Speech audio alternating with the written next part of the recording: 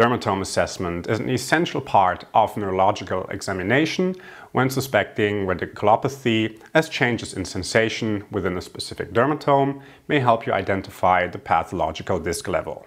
In case of the cervical spine, the most common causes of nerve root pathology are herniated discs, which account for about 20 to 25% of cases, and degenerative disc disease, which accounts for 70 to 75% while herniated discs, also known as soft disc lesions, are rather seen in younger patients. Degenerative disc disease or hard disc lesions primarily occur in the older population, and the highest incidence for cervical nerve root pathology is found on spinal segments C5-6 and C6-7.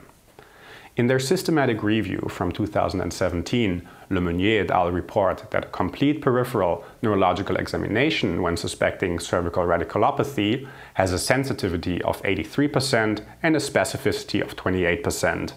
The positive and negative likelihood ratios were 1.15 and 0.6 respectively, which is why we attribute this assessment a rather weak clinical value, but it is still the best tool we have. To stroke the dermatomes, Use a brush like the one found in the handle of most reflex hammers and stroke the dermatomal regions on both the affected and unaffected limb and ask the patient whether they feel side-by-side -side differences.